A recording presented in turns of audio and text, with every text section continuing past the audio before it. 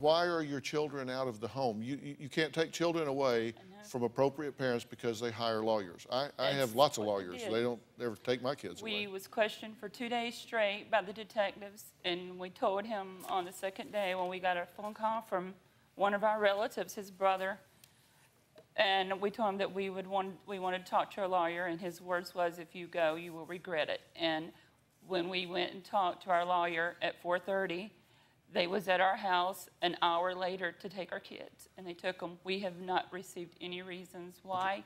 He hasn't either. We have not received anything. We have not been able to see them, call them. Well, they have to have Nothing. cause to take your children, They have not said one word to us at all. Nobody has. but they're with your mother? Yes. I've even uh. called my mom and asked her and my mom would hang up on me and would not even let me talk to them on the speaker. They, nothing. So your mother's withholding your children from you Yes, for now two weeks, yes, yes. okay?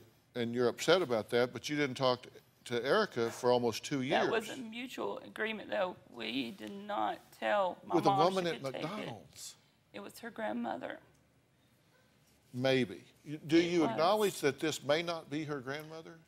Irene. Now that is- she has Irene? Goodman told me she was her grandmother, and we believed her. But do you now wonder if maybe you were getting scammed? With the other people that's in the car with her at that time, they come out to be the people who they said they were.